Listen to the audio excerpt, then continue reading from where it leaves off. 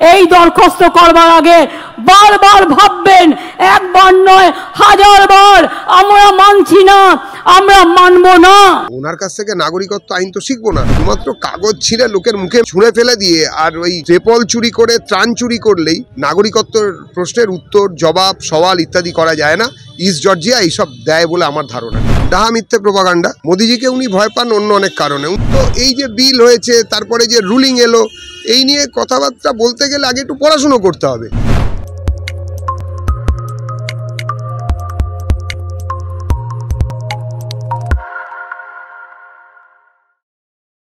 CA ইতিমধ্যেই সারা ভারতে চালু হয়ে গিয়েছে। মুখ্যমন্ত্রী মমতা বন্দ্যোপাধ্যায় সিএ এর বৈধতা নিয়ে আইনি বৈধতা নিয়ে প্রশ্ন তুলেছেন কি কি বলেছেন একবার শোনাই তারপর প্রতিক্রিয়া নিচ্ছি এক এক করে। এবার যে ইলেকশনের আগে প্রতারণা ছলনা, বঞ্চনা, নাগরিক অধিকার কেড়ে নেবার চক্রান্ত চলছে। তার সম্বন্ধে একটা কথা বলি, ভালো করে কান দিয়ে শুনুন। কাজে লাগবে যে ক্যা রুলসটা কালকে কেন্দ্রীয় সরকার ঘোষণা করেছে। আদৌ এটা বৈধ কিনা আমার সন্দেহ আছে। কোনো ক্ল্যারিটি নেই।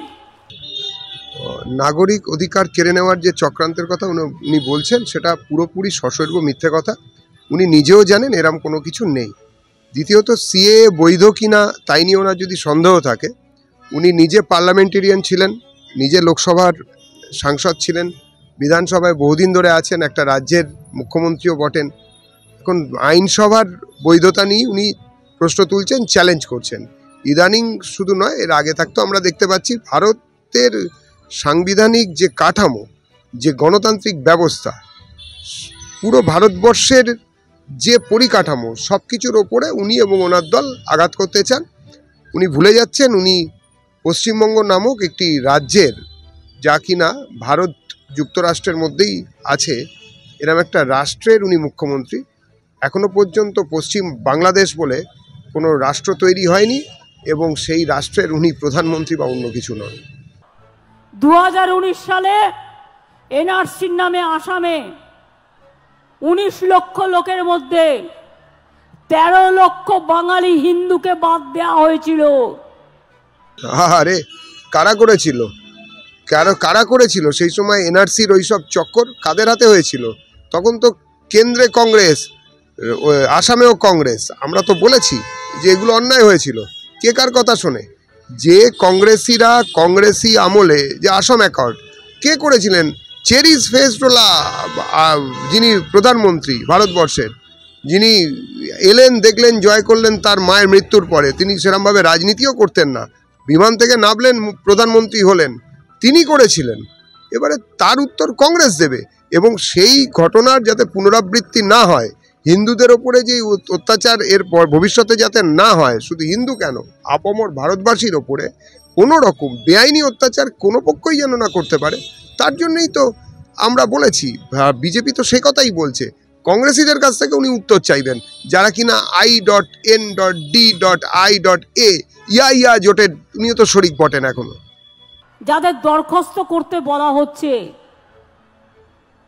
তার মানে তারা যেই দরখাস্ত করবেন সঙ্গে সঙ্গে তারা নাগরিক থাকা সত্ত্বেও আপনারা বেআইনি অনুপ্রবেশকারী হয়ে যাবেন। তাহলে আপনাদের সম্পত্তি কি হবে? আপনাদের চাকরি বাকরি কি হবে? আপনাদের ছেলে মেয়েদের পড়াশুনো কি হবে? সবটাই বেআইনি ডিক্লেয়ার হয়ে যাবে। আপনাদের কোনো অধিকার থাকবে না। এটা অধিকার ক্যারার কারার খেলা। ডাহা মিথ্যে প্রপাগান্ডা। মোদিজিকে উনি ভয় পান অন্য অনেক কারণে। উনি একবার বলেছিলেন না, মোদিজি, বলছি তিন দিন সময় দিলাম না পাঁচ দিন সময় দিলাম, পাঁচশো টাকার আর দু হাজার টাকার নোট সব ফেরত আনতে হবে। কি কাজকলা ফেরত এসেছিল আমরা তো কোনো কিছুই মানিনি। মোদিজি মোদিজির কাজ করেছেন, উনি ভয় পেয়েই আছেন। ভয়টা অন্য জায়গায়। আসলে ওনার ছোট্ট পর্ণ কুটিরে বিভিন্ন জায়গা থেকে ওনার নেত্রীর কথা অনুযায়ী অডিট করে তারপরে তার পঁচাত্তর শতাংশ নিজের পকেটে রেখে পঁচিশ শতাংশ নিজের পকেটে রেখে বাকি পঁচাত্তর ওই কালীঘাটের টালির চালার নিচে পাঠাতে হবে। সেটা ইদানিং একটু একটু করে বন্ধ হচ্ছে। তাই থেকে মুখ ঘোরানোর জন্য হতাশায় উনি এইসব বলছেন। তাহলে এতদিন কেন করল না? দু হাজার কুড়িতে তো আইন পাশ হয়েছিল। এতদিন কেন করেনি? আজকে নির্বাচনের দুদিন আগে কোনো আইন করলে সেই আইনটা থোড়াই আইনে পরিণত হয়। এটা একটা খুব জরুরি প্রশ্ন। সত্যি তো চার বছর কেন লাগল? মাঝখানে কোভিড ইত্যাদিতে সারা পৃথিবী ব্যস্ত ছিল। সিএ কোনো রকম ভারতীয় নাগরিকদের সঙ্গে এর কোনো সরাসরি যোগই নেই। বিদেশের নাগরিকরা তারা কীভাবে ভারতীয় নাগরিকত্ব পেতে পারেন, তাই নিয়ে কথাবার্তা এই সিএতে আছে। তো এই যে বিল হয়েছে, তারপরে যে রুলিং এলো, এই নিয়ে কথাবার্তা বলতে গেলে আগে একটু পড়াশুনো করতে হবে। সব কিছু তো আর ওই কি যেন একটা জর্জ, ইস্ট জর্জিয়া ইউনিভার্সিটিতে সব কিছু তো পড়াইনি এটা তো ঘটনা। এবারে একটুখানি পড়াশোনা শুরু করলে ভালো লাগবে। আমাদের সবারই তাতে সুবিধা হবে। যারা শুনছেন তাদেরও বুঝতে সুবিধা হবে। যারা বলছেন তাদেরও শোনাতে সুবিধা হবে। আমার কথা হচ্ছে যে সিএ হচ্ছে বাইরের নাগরিক মানে নাগরিকদের, অন্য দেশের নাগরিকদের, ভারতের নাগরিকত্ব দেওয়ার প্রশ্ন নিয়ে যুক্ত ছিল। তা সেই সময় কোভিডের এই ঝামেলা চলছে। দু বছর, আড়াই বছর ধরে মানুষ খেতে পায়নি, বাইরে বেরোতে পারেনি। মানুষ, আমাদের প্রধানমন্ত্রীর যে যোজনা, প্রত্যেককে ফ্রিতে ভ্যাকসিন দেওয়া, তাই নিয়ে ব্যস্ত ছিল। সারা ভারতবর্ষের মানুষ তাই জন্য ধন্য ধন্য করছে। উনি শুধু খুঁতকুজে বার করছেন যে, কেন করল না? এখন কেন হলো? তাহলে কখন হতো? না করলে ভালো হতো? সেটা তো হবে না। এটা হচ্ছে মোদির গ্যারান্টি মোদি বলেছেন, তিনশো সত্তর দ্বারা সরাবেন ক্ষমতায় এলে, সরিয়েছেন। বলেছিলাম, রাম মন্দির করব, করে ছেড়েছি। সিএ করব বলেছি, করেই ছেড়েছি। বাকি যেগুলো বলা আছে, সেগুলো নিয়েও প্রস্তুতি নিন। যারা বিরোধী আছেন, খুব শিগগিরই সেগুলো লাগু হতে চলেছে। মমতা বন্দ্যোপাধ্যায় বলছেন, যে সমস্ত নাগরিকদের ভোটে প্রধানমন্ত্রী হলেন, সেই সমস্ত নাগরিকরা এখন নাগরিক নয়? না ওনার কাছ থেকে নাগরিকত্ব আইন তো শিখব না। এই কথা তো সুপ্রিম কোর্ট বলেছেন যে কিসে কিসে নাগরিকত্ব হবে আর কীভাবে নাগরিকত্ব প্রমাণ হবে। গান্ধীজি এক সময় বলেছেন, জওয়াহরলাল নেহরু বলেছেন, বিভিন্ন জায়গায় এই নিয়ে আলোচনা হয়েছে। সেই সময় তো হয় না, শুধুমাত্র কাগজ ছিঁড়ে লোকের মুখে মেরে আর ছুঁড়ে ফেলে দিয়ে আর ওই ট্রেপল চুরি করে, ত্রাণ চুরি করলেই নাগরিকত্বর প্রশ্নের উত্তর, জবাব, সওয়াল ইত্যাদি করা যায় না। ইস্ট জর্জিয়া এইসব দেয় বলে আমার ধারণা নেই। ইচ্ছা করেই কালকের দিনটা বেছে নেওয়া হয়েছে। কারণ কালকে থেকে রমজান মাস শুরু হয়েছে, এটা আমরা বুঝি। মানে রমজান মাসের বিশেষত্বটা কি আছে? যে ওই সময় বেছে নিতে হবে বা বেছে নিতে হবে না সিএ কি আজকে পাস হয়েছে নাকি? এটা তো রুলিং হয়েছে রুল বিশেষভাবে কীভাবে করতে হবে, কীভাবে? যাদের নিয়ে সিএ তাদের জন্য রমজান বা রমজান নয়, এতে কোনো কিছু এসে যায় না। আমরা বলেছি, যে কথাতে ওনাদের সমস্যা হচ্ছে সিএ মানে হচ্ছে সিটিজেনশিপ অ্যাক্টের অ্যামেন্ডমেন্ট তো অ্যামেন্ডমেন্ট এর আগেও পাঁচবার হয়েছে, এই নিয়ে ছবার হলো।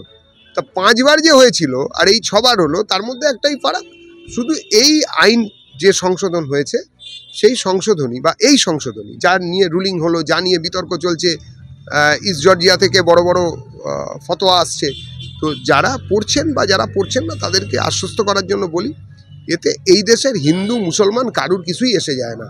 যারা বাংলাদেশ পাকিস্তান এবং আফগানিস্তান থেকে পালিয়ে আসছেন ধর্মীয় উৎপীড়নের কারণে তাদের জন্য। মুসলমানদের দেশে মুসলমানরা রমজানে ধর্মীয়ভাবে উৎপীড়িত হচ্ছেন বললে কেউ বিশ্বাস করবে বা মুসলমানরাও কি তাই বলছেন? ওনারা তো মাথা ব্যথা কিসের? সেটাই আমরা বুঝতে পারছি না। আপনি মাথা ব্যথার কথা বলছেন। ধর্ম বৈষম্য বর্ণ বৈষম্য লিঙ্গ বৈষম্যর সঙ্গে সিএ এর কি যোগাযোগ রয়েছে? একটু দর্শকদের বলে দিন কারণ উনি বলছেন আমি এইসব মানি না। দর্শকদের আমি বলার কেউ নেই। দর্শকদের বলার জন্য দাঁড়িয়ে আছেন ওনার দোসর কমিউনিস্টরা। চিৎকার, চেঁচামেচি করে কমিউনিস্ট কংগ্রেস আর এই তৃণমূল কংগ্রেসের লোকেরা সবাইকে বোঝানোর চেষ্টা করছেন যে, আহারে, এই সিএ আইনটা দেখো কত বাজে, ধর্মীয়ভাবে কত বাজে, শুধুমাত্র অমুসলমানদের জন্য কেন করল, মুসলমানদের জন্য কেন করল না? আবার বলছি, আগেও বলেছি আফগানিস্তান, পাকিস্তান এবং বাংলাদেশ তিনটি দেশ ঘোষিতভাবে ইসলামিক কান্ট্রি এবং সেখানে উৎপীড়নের শিকার অমুসলমানরাই হচ্ছেন, মুসলমানরা হচ্ছেন না। এর সবাই ভুক্তভোগী জানেন, সারা পৃথিবী জানে। শুধু এরাই শুধু চোখে বোধহয় চশমা পরে হাঁটে বলে এরা দেখতে পায় না, লাল চশমা বা সবুজ চশমা পরে বলে। আর দ্বিতীয়ত, যে ডাহা মিথ্যের কথা হচ্ছে, তাতে আমি একটা পাল্টা প্রশ্ন করি, দর্শকদের তরফ থেকে করি, দর্শকদের দিকে নয়। যে কমিউনিস্ট কংগ্রেস বা তৃণমূল কংগ্রেসীরা বলছেন, ধর্মনিরপেক্ষ বা সাংবিধানিকভাবে ধর্ম ধর্ম, সব ধর্ম এক, সেখানে সিএ শুধুমাত্র মুসলমানদের জন্য মানে বাদ দিয়ে শুধু অমুসলিমদের জন্য কেন হচ্ছে? তাদেরকে প্রশ্ন করি। আচ্ছা ভাই, আপনারা ইউসিসিকে সমর্থন করবেন তো? ইউনিফর্ম সিভিল কোডকে? সেখানে তো সব ধর্মকে সমান বলা হয়েছে। ও, এটা বললেই দেখবে না না না, এটা করা যাবে না। মুসলমান ধর্ম আলাদা, হিন্দু ধর্ম আলাদা, মুসলমানদের জন্য আলাদা আইন চাই, হিন্দুদের জন্য আলাদা ব্যবস্থা চাই, ওটা কিন্তু বলা যাবে না।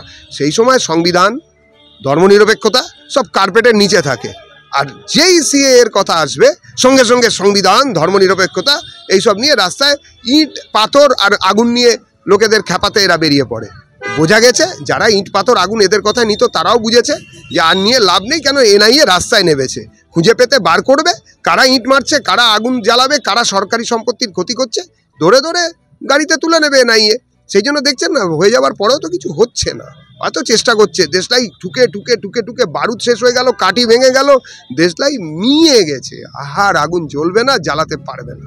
দার্জিলিংয়ে চা বাগান ঘেরা কমলালেবুর গ্রাম সৌরিনীতে এবং দাওয়াইবানিতে ঘরে বসেই কাঞ্চনজঙ্ঘার দৃশ্য উপভোগ করতে আড্ডাহাট হোমস্টে বুক করুন nine eight three six four double nine six seven eight নম্বরে। ইতিমধ্যে ওয়েবসাইট দিয়ে দেওয়া হয়েছে কেন্দ্রের তরফ থেকে কিন্তু মমতা বন্দ্যোপাধ্যায় তিনি বলছেন কেউ নাগরিকত্ব পাবে না। এটা লোক দেখানো জাস্ট প্রতারণা মানুষের সাথে ছলনা। প্রতারণা ছলনা লোক দেখানো কী সব দেখানো এইসব ব্যাপারগুলো উনি ভালো বোঝেন। উনি এই নিয়ে ডক্টরেট বা পিএইচডি কিছু করছেন নামের আগে তো ডক্টর আছে কি সাবজেক্টটা জানতাম না এখন বুঝলাম যে এটা নিয়েই বোধহয় হয়েছে। উনি ভালো বলতে পারবেন ওনার ভাইপো ভালো বলতে পারবেন ওনার অনুসারীরা অনুগামীরাও ভালো বলতে পারবেন আমি এ নিয়ে বলতে পারব না ওনাকেই জিজ্ঞেস করুন উনি বলবেন। শীতকালে সুন্দরবন ভ্রমণের নির্ভরযোগ্য একমাত্র নাম সাগর সঙ্গম ট্রাভেলস নিজস্ব লঞ্চে ভ্রমণ এবং অফুরন্ত খাওয়া দাওয়ার বিপুল আয়োজন। বুকিং করুন nine seven double three zero double six zero seven five.